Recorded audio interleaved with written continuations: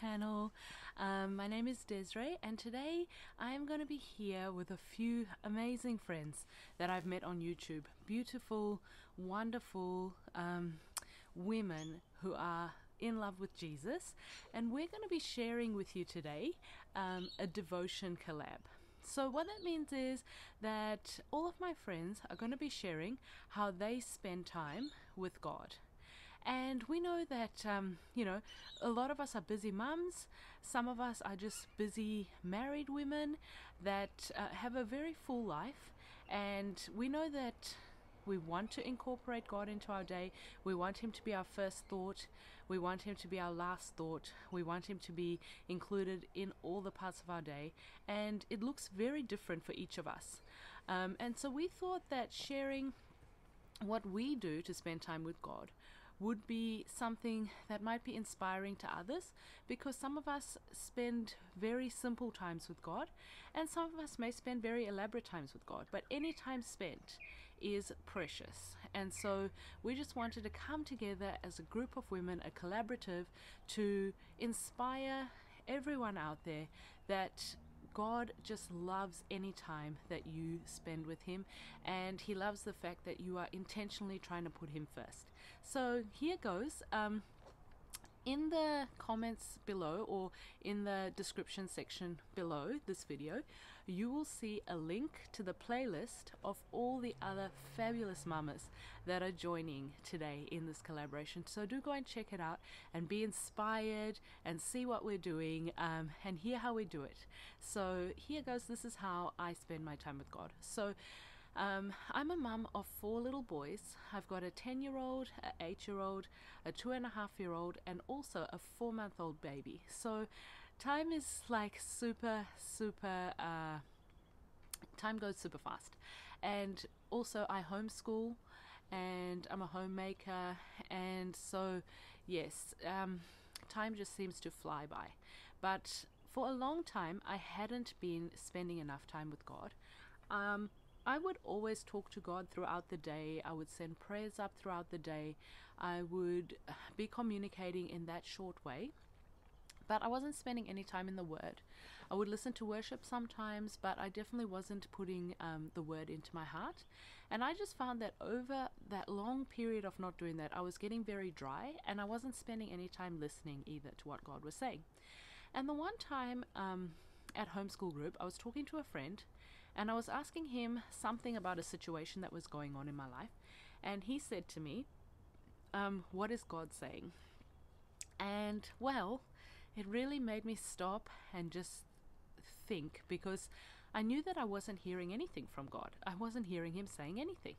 And the reason that I wasn't hearing Him saying anything was that I wasn't spending time with Him listening. So that was a huge wake up call. And from that day, I decided that I'm going to intentionally put God into my day because I make time for so many other things and I intentionally put time into those things, but I just was neglecting my relationship with God. So, what I then started doing was trying to, at some point in the day, spend time reading the Word. Um, it is more so like I'm trying to read a chapter of the Word a day. This is my Bible. Um, it's the Inspire Bible for Creative Journaling because I did love doing, um, like, I love doing Bible journaling. Just show you that. Um, that's one of the pa- pages I journaled.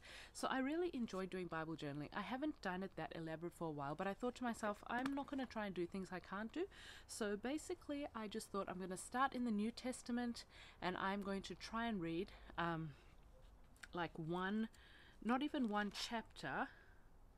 Uh, yeah, actually, yes, that's no, not even one chapter sometimes. So basically, I thought to myself, I'm going to read one chapter a day, but even if I read some of a chapter a day, I'm going to be happy with that. I'm going to sit down, I'm going to ask the Holy Spirit to give me insight and wisdom and to make the word come alive and to teach me something from that small portion of scripture I read.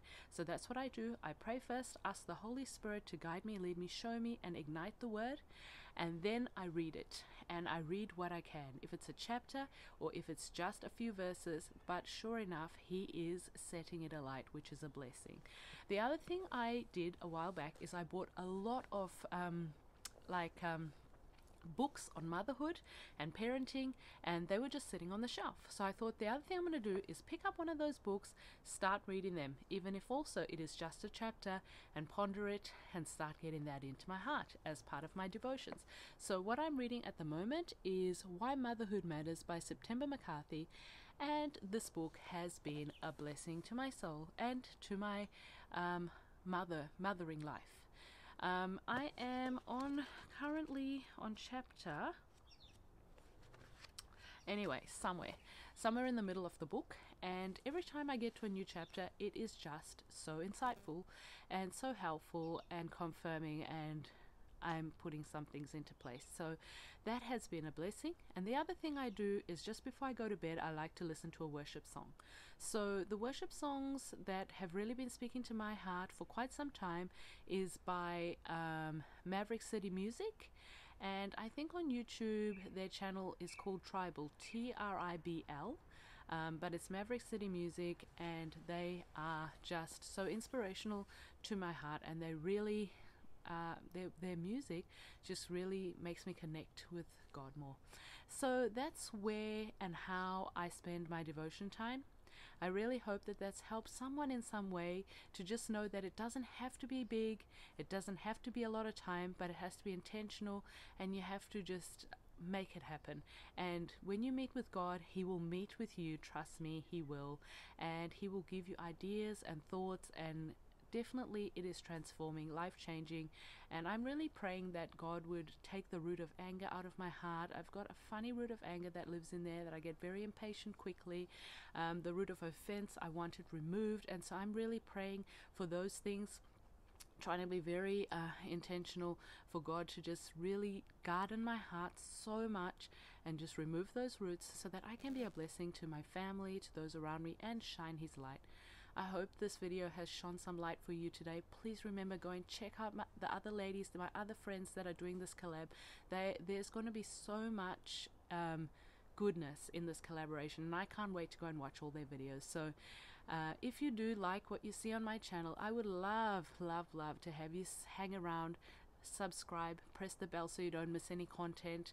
Um, and also, if you do like this video, please give it a thumbs up because that helps so much. And also, please talk to me, chat to me in the comments. I love hearing from you. It really gives my heart joy um, to be able to hear from you and be able to do life together. So, be blessed, have a wonderful week, uh, and we hope that we've inspired you today. Take care and God bless.